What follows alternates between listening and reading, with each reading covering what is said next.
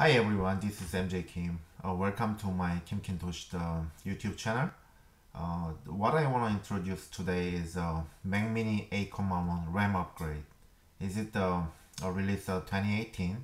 The feature of this uh, Mac Mini, I have been uh, um, like uh, using um, all different type of Mac Mini since 2012 and then I have a 2012 uh, i5 i7 and uh, basically this is a basic model of 2018 um, Mac Mini uh, i3 and then uh, I feel like i3 is not fast uh, um, you know CPU and it's a quad core 3.6 gigahertz. But basically it's not that bad. I also have all the old Mac uh, Mac Pro 5.1 and I did a Geekbench um, compared to that features. The single core as itself is not that bad, even though I have a 16 core of uh, you know Intel Xeon processors on it. So uh, in this video, uh, I have a basic 8 gigabyte RAM. It will go to 64 gigabyte. Uh, unfortunately, the 128 gigabyte SSD is soldered on the logic board, so you are not able to you know upgrade anything like that. But you have a Thunderbolt in uh, the USB 2 and USB 3 so uh, with that one then you are able to use the external hard drive or like the SSD um, or docking station that I, I purchased. And then there are different way that you can save as external. And also it, uh, you know uh, with the 128 gigabyte I'm not able to bring my iCloud with all my pictures and all that and sometimes you know it's um, I feel like it uh, I only install just basic things in this uh, iMac 2018 but um, also with uh, your network drive and, and NAS drive and whatever you can have on any external cloud things like that and then you are actually able to you know utilize your Mac mini. Uh, after you upgrade from 8 gb to uh, 64 gigabyte I feel like I can use more squeeze more the SSD to the you know almost the leave a 3 4 gigabyte because the 64 gigabyte doesn't use the uh, virtual memories. So it's pretty good after I spend extra 350 bucks. Um, so as you can see from here on Mac OS Sur uh, version 11.3.1 uh, Mac Mini 2018 3.6 uh, gigahertz quad core i3 and memory 64 gigabyte 2667 DDR4 and start of Mac OS Big graphic card UHD graphics 630 and 1.5 gigabyte. So if you see the Mac Pro 8.1 uh, Mac Mini M1 chip is a uh, you know considered the best chip in no fan.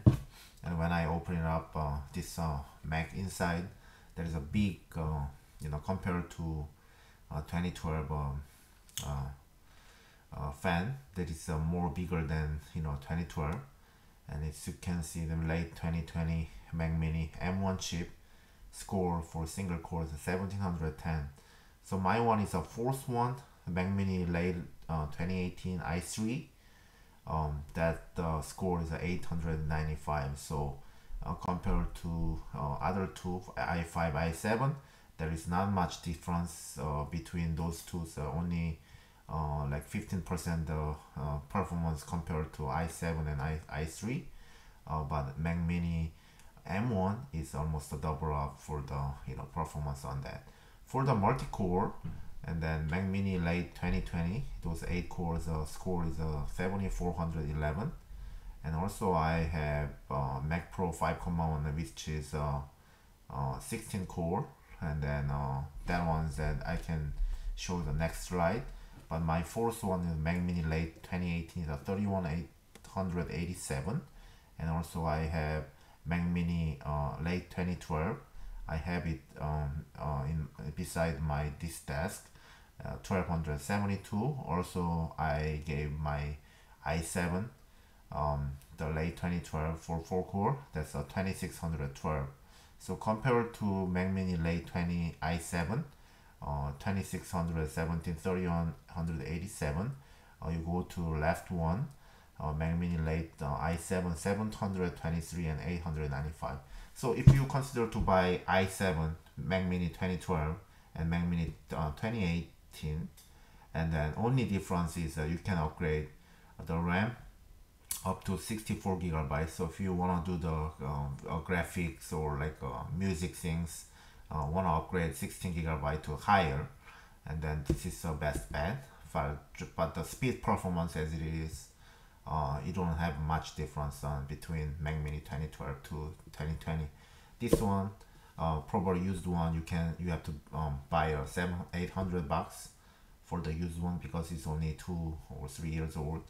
Um, but the Mac Mini 2012 you can buy 300 bucks and you know basic um, you know 4 gigabyte for eight, or 8 gigabyte you can easily upgrade with a you know 30 40 bucks and you can uh, upgrade to um, uh, 16 gigabyte and then if you replace hard disk to SSD uh, with uh, like 400 450 bucks and you know you can have uh, almost half price you can get the Mac Mini 2012 just i7 those are you know and I consider that one still uh, fast speed but that i7 for Mac Mini 2012 uh, there is so much heat and you know the you know fan is running whenever it's uh, you know it's heavy things loading load um, so that's the thing that you need to consider. But i5 that um you know a little bit lower performance but as a heating uh the like uh you know the heating matters and you know it's pretty much stable on that. Um this is uh internal like benchmark uh from my computer. Uh those uh mac mini all i have it and i test it so uh, when you uh, run the geekbench 4 uh, mac pro 5.1 12 core uh vs uh, mac mini 8.1 uh 4 core. And the single core is uh 4238 and then um, Mac um, um, Mac Mini um, Mac Mini uh, 4238 and then um, Mac Pro 5.1 2670 uh, but however for the multi-core is uh, uh, Mac Mini uh, late uh, let's see late uh, 2018 so 10728 and Mac Mini late Mac Pro 5.1 is uh, 1800 uh, 18,000 um 541 so multi-core the Mac Pro 5.1 Intel Xeon this is uh, much more the you know the calculation on that. But however for the single core as itself is uh, is better than uh, Mac Pro 5.1 uh, 12 core. You know the Mac Mac Pro uh, is uh, like almost 10 years old. Five 5.1 10 years old but it's still expensive. Uh, I have 128 gigabyte on that. Uh, but uh, it's uh, still uh, give us a good uh, performance on that. So this is the step to you know upgrade your Mac Mini 8.1 basically it's not that hard. As long as you have uh, your tool to uh, uh, unscrew the this and then if you purchase uh, go to ifix.com and then um, you know you can buy some like tools on that or you can go to Amazon and buy those T screws to take them out. And then you will have uh, the, you know this uh, three red and three orange and you can take them out from uh, the main cover. So main cover there is a wireless uh, you know pin on it. So you gently um, take him out those ones so it does uh, easy, easy to break it. So when you break those pin and you are you are not able to use the Wi-Fi and Bluetooth. So please be careful. After that the same thing with the uh, this fan uh, this fan is uh, you gotta take him out the four screw two on front and two on back and then uh, you are able to see uh, the uh, like uh, you see the, those on the bottom and then you gotta unscrew the um, uh, this uh, two and then two front and two on back so. So after you remove the cable and then you will see uh, um, you will see all this uh, logic board on that and those um, you um, you need to take him out those big screw. And then after you take him out two big screw then you are able to uh, remove you know see the left side in the picture. And you will see the two two big screw so the star screw. And then um, uh, you are able to remove out the logic board from the you know the your the you know case uh, like aluminum case after that those time tag um, the 32 gigabyte uh, times 2 and then remove the uh, 4 8 gig uh, um, uh, 4 gigabyte 2 4 gigabyte which is 8 gigabyte and it will be become uh, 32 gigabyte times 2 so 64 gigabyte on that.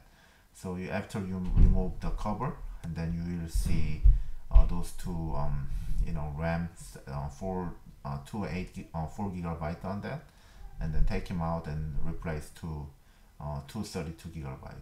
So this is the you know screw kit um, you know the that I uh, purchased from ifix.com and then um, 32 two, uh, 32 gigabytes which is 64 gigabyte uh, you can buy 300 dollar US or like 420 uh, Canadian dollars. So you know I bought from Amazon uh, fortunately um, right now is all the memories uh, I feel like it's uh, more expensive than used to be. Uh, so um, you know the I purchased in the uh, January this year and then I just upgraded in May. I just keep it for four months um, because I was busy with other things. Uh, but uh, right now if you want to buy uh, this uh, 64 gigabyte memory from Canada and actually uh, also you need to uh, pay the 45 the import fee. Um, performance after upgrade you will see the 64 gigabytes 2667 megabyte DDR4 it still had a 10 gigabyte the free memory. So basically uh, compared to 8 gigabyte to 64 gigabyte uh, there uh, are, are some the space for the virtual memory when you use the, your SSD but after that um, uh, SSD doesn't uh, use much the um, you know virtual memory on that because you have enough space uh, for the um, floating memories on that. And also um, you know because of you have a 64 uh, gigabyte memory I don't see here any like fans running uh, while I'm uh, running uh, this uh, uh, Mac uh, Mini 8.1 and then also I am want to introduce the Mac Mini docking station and this docking station probably you can buy 104 uh, 130 bucks uh, Canadian and 89 dollar in American.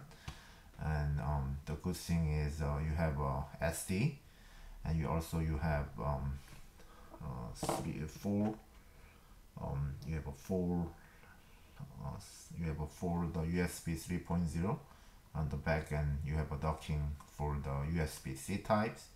So if you are not if you don't have enough um, space for uh, USB 2.0 and then that that's good um, choice to have a docking station. Also you can insert uh, your SSD or hard disk so you can um, uh, uh, make a dual booting uh, for this Mac Mini.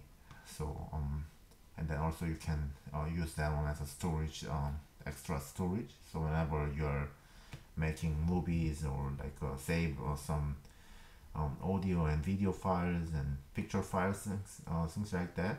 And actually you can use the disk drive the ex external drive as uh, your internal drive. So you can um, actually booting from the, the, uh, the system that you want.